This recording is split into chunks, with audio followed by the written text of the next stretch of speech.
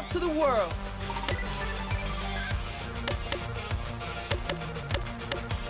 Patriots! I can't even imagine losing at this speed.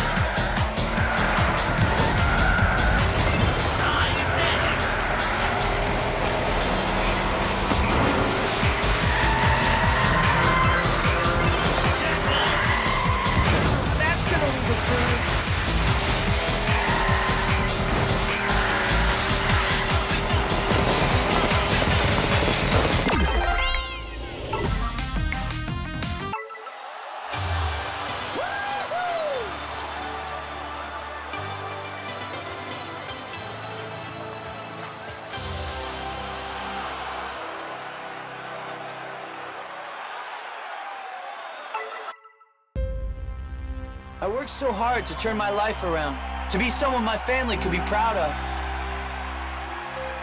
Then, finally, it happened. The best day of my life.